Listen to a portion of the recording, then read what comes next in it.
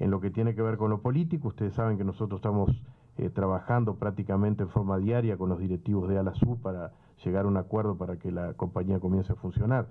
Esto evidentemente eh, pone piedras en el camino, no hay ninguna duda, este, desde el punto de vista político. Ahora, eh, son demandas, si bien son unos cuantos, me han dicho que son pilotos de aviones, si bien son demandas, unos cuantos son demandas individuales, los directivos de Alasú este,